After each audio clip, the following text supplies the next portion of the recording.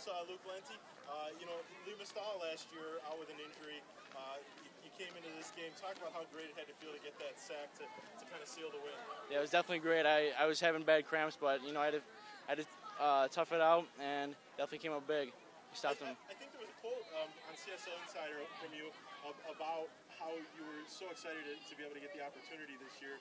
Um, you sure made the most of it.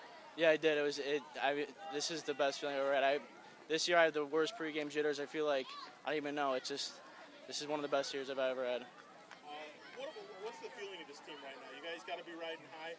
Are you worried about overconfidence or, or, or little cockiness? No, I'm not worried about that. We definitely a lot of energy, good energy around our team. We definitely have good. Um, how do, you, how do I say this?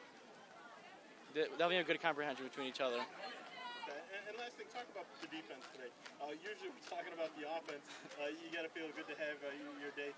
Yeah, we definitely we definitely came up big. We didn't have that many breaks, you know, but we're a team and we got to get it done when it comes down to it.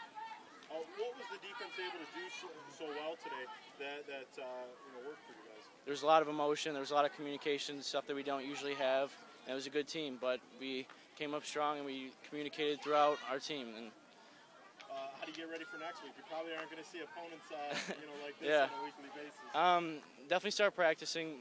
We'll probably Oh, Probably have film Monday, and we'll go hard next week. And don't take anybody for granted. All right. Thank you very much.